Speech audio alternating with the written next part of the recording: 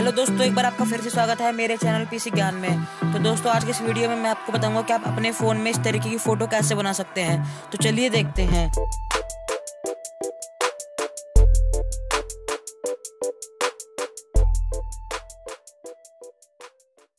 तो दोस्तों, सबसे पहले आपको अपने फ़ोन में पिक्सार्ट इंस्टॉल करके ओपन कर लेना है और इस प्लस के बटन पर क्लिक कर लेना है। इसके बाद आपको एडिट पर क्लिक कर लेना है और अपनी जो भी फ़ोटो आप एडिट करना चाहते हैं, उसे चूज़ कर लेना है। इसके बाद आपको टूल्स पे क्लिक करना है और यहाँ पर आप ऊपर देख रहे हैं क्रॉप का बटन है, क्रॉप का ऑप्शन है, इस पर क्लिक कर लीजिए। इसके बाद आप अपनी फ़ोटो को क्रॉप कर लीजिए, जितनी मर्ज़ी आप अपनी इमेज को सिलेक्ट करना चाहते हैं। इसके बाद आपको ये यहाँ पर नीचे दिख रहे हैं कटआउट का एक ऑप्शन दिखेगा। आपको इस कटआउट पर क्लिक कर लेना है और अपनी जो फ़ोटो है, उसकी आउटलाइन ड्रॉ कर लेनी है। आउटलाइन ड्रॉ करने के बाद आपको एरो पर क्लिक करना है और ये क्रिएटिंग का स्टिकर लिखा जाएगा और ये आप कम से कम दो तीन मिनट लेगा आपके फ़ोन में।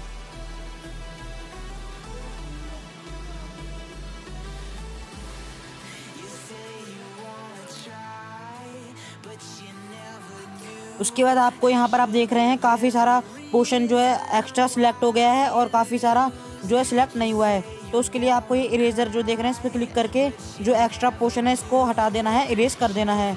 और उसके बाद ये ब्रश देख रहे हैं पेंट ब्रश आपको उस पेंट ब्रश पे क्लिक करना है और जो पोर्शन सेलेक्ट नहीं हुआ, जो पार्ट सेलेक्ट नहीं हुआ, उसे ऐसे करके सिलेक्ट कर लेना है। और सिलेक्ट करने के बाद अगर आपको देखना है कि क्या पार्ट सेलेक्ट हुआ है, क्या नहीं हुआ तो ये आप साइड में देख रहे हैं, तीसरा बटन है जो आई का, इस आई पे आपको क्लिक कर लेना है।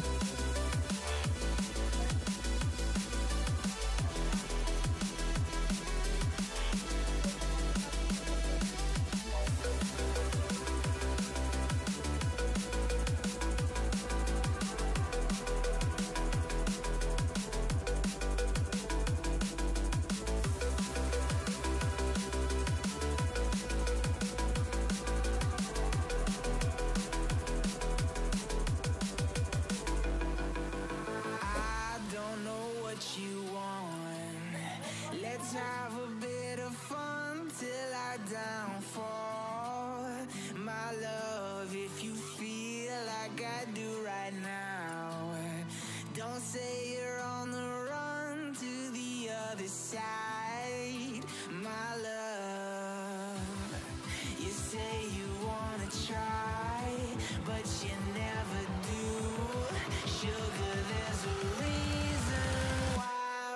तो गैस इस तरीके से इमेज हो जाने के बाद आपको मैंने जो बताया थर्ड वाला ऑप्शन है जो आई का, इस पर क्लिक कर लेना है।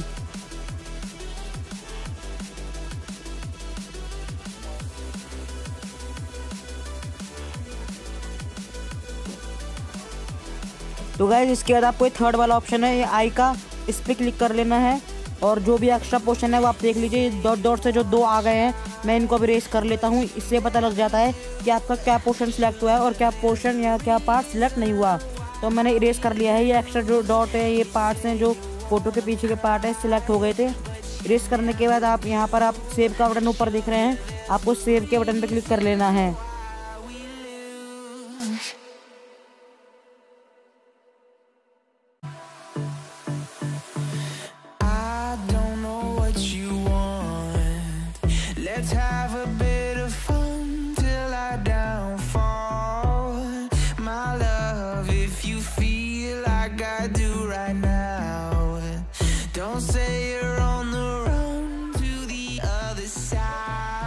सेव पे क्लिक करने के बाद आपकी इमेज इस तरीके से कुछ सेव हो जाएगी। इसके बाद आपको यहाँ पर फिर से अपनी इमेज अगर आप क्रॉप करना चाहते हैं तो कर लीजिए, नहीं तो रहने दीजिए। इसके बाद आपको बैक कर लेना है और इमेज को डिस्कार्ड कर लेना है। इसके बाद आपको इस बैकग्राउंड जो ऑप्शन आ रहा है इस पर क्लिक कर लेना है बैकग्राउंड के ऑप्शन पे। और यहाँ पर आप ये ब्लैक कलर को चूज़ कर लीजिए, ऊपर जो डॉट डॉट से आ रहे हैं काफ़ी सारे। इसके बाद आप नीचे देख, ये ब्लैक बैकग्राउंड चूज़ हो जाएगा। इसके बाद आपको ऐड फ़ोटो पे क्लिक करना है। और अपनी जो फ़ोटो सॉरी स्टिकर पर क्लिक करना है और इस माई स्टिकर पर क्लिक करने के बाद आपको जो भी स्टिकर आपने अभी बनाया था, उसको क्लिक करके ऐड कर लेना है।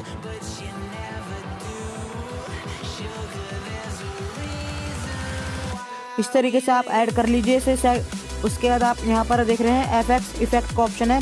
आपको सेक्ट पे क्लिक करना है और आगे बढ़ते जाना है और यहाँ पर आपको दिखेगा black and white and blur, ऐसे कुछ ऑप्शन दिखेगा यहाँ पर आप देख सकते हैं मैं किस पे क्लिक कर रहा कर रहा हूँ। आप उसी वाला ऑप्शन पे क्लिक कर लीजिए। इसके बाद आपको ये दोनों ऑप्शन है, इन दोनों को फुल कर देना है और टिक पे क्लिक कर देना है।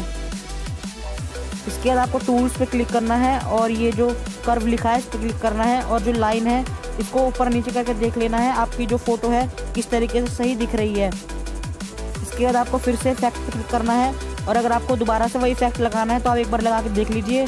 कि आपकी इमेज अगर और अच्छी हो जाती है तो तो यहाँ पर आप देख रहे हैं इफ़ेक्ट लगाने के बाद मेरी इमेज थोड़ी सी डार्क हो गई है तो अब मैं यहीं पर रहने दूँगा, दोबारा इफ़ेक्ट नहीं लगाऊँगा।